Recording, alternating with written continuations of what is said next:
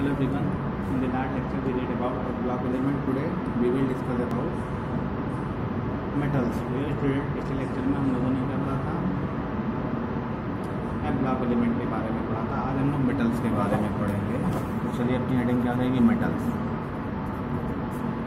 तो मेटल्स क्या होता है पहले तो ये बताते हैं तो आप कह सकते हैं metals are those elements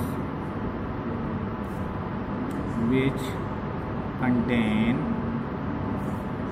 positive charge. ठीक है मतलब मेटल्स ऐसे एलिमेंट्स होते हैं जिन पर पॉजिटिव चार्ज होता है, जैसे लिथियम सोडियम ये सब क्या है आपके? मेटल है। सबके देखिए पॉजिटिव चार्ज हैं। अब इनके कैरेक्टर्स के बारे में हम बात करें। तो कैरेक्टर्स में देखते हैं। इनका जो पहला कैरेक्टर है क्या होता है जो हमारे मेटल्स हैं, इनमें हम कह सकते हैं जो पीरियोडिक टेबल है अपना। इसमें near about seventy eight percent element क्या हैं हमारे? मेटल्स ही हैं। ठीक है? तो जो हमारा पीरियोडिक टेबल है उसमें near about eight percent of metals हैं। ठीक है? अब देखिए, हमने पीरियोडिक टेबल में आपको S block P block D block और एफ़ ब्लॉक के बारे में बताया था। उसमें एस डी और एफ़ ब्लॉक के जितने भी एलिमेंट्स हैं, वो सारे के सारे आपके मेटल्स हैं। और पी ब्लॉक जो है, वो मेटल नॉन मेटल और मेटलाइट डी तो we can say that S block element of S block P S block D block and F block और मेटल्स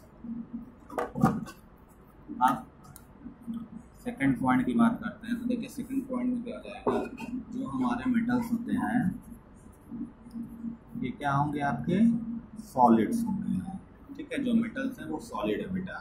और सॉलिड एक किस पर है? एट रूम टेम्परेचर ये रूम टेम्परेचर पर सॉलिड होते हैं। तो we can say that metals are solid at room temperature but देखिए, एक मेटल ऐसा है जो क्या होता है? रूम टेम्परेचर पर लिक्विड में होता है। वो है आपका क्या? मरकरी मरकरी एक ऐसा मेटल है जो बेटा रूम टेम्परेचर पर लिक्विड स्टेट में रहता है। ठीक है? देन देखिए।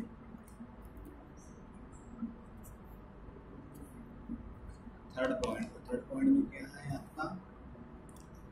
जो हमारे मेटल्स होते हैं मेटल्स के melting and boiling points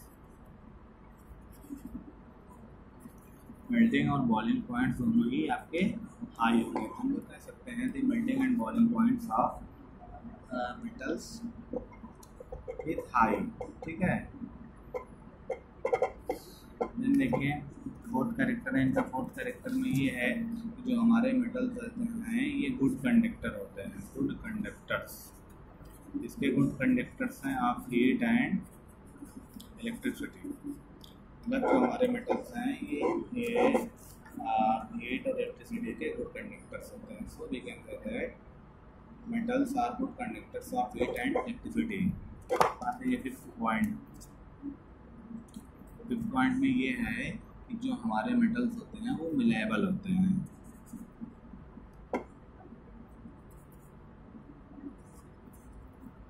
and malleable के साथ साथ ये डक्टाइल होते हैं। मिलेबल मतलब क्या होता है? इनको आप क्या होता है हैमर से पीट पीट कर इसको प्लेट फॉर्म में कन्वर्ट कर सकते हैं तो ये मिलेबल है, और डक्टाइल मतलब इसको जब वायर के रूप में कन्वर्ट किया जाए तो ये बेटा मेटल्स के हो गए इसको भी। बात करते हैं हम लोग नॉन मेटल्स के बारे में।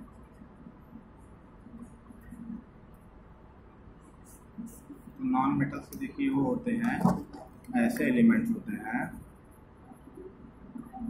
तो क्या करते हैं नेगेटिव चार्ज कंटेंट्स ठीक है ना? ठीक है non-metals are those elements which contain negative charge, like chlorine, ठीक है? ऑक्सीजन ये सब।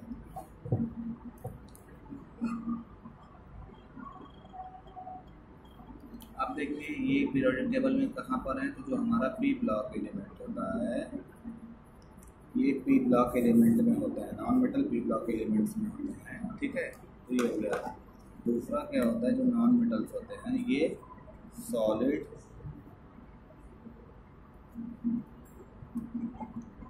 और गैस में होते हैं। वो भी लो टेम्परेचर तो लो टेम्परेचर हमारे नॉन मेटल्स हैं, वो क्या होते हैं? सॉलिड या गैस फॉर्म में इसी के साथ साथ इनका जो मेल्टिंग पॉइंट होता है एंड बॉइलिंग पॉइंट ये भी लो हो जाएगा। ठीक है ना so we can say that non metals are using solids और gas at low temperature with low melting point and boiling point third point है थर्ड पॉइंट ये है ये पुअर कंडक्टर्स होते हैं हीट और इलेक्ट्रिसिटी के तो आप कह सकते हैं they are poor conductors of heat and electricity ठीक है? ये इलेक्ट्रिसिटी और हीट के पुअर कंडक्टर्स होते हैं। देन हमारा फोर्थ पॉइंट है। फोर्थ पॉइंट ये है कि जो हमारे नॉन मेटल्स होते हैं,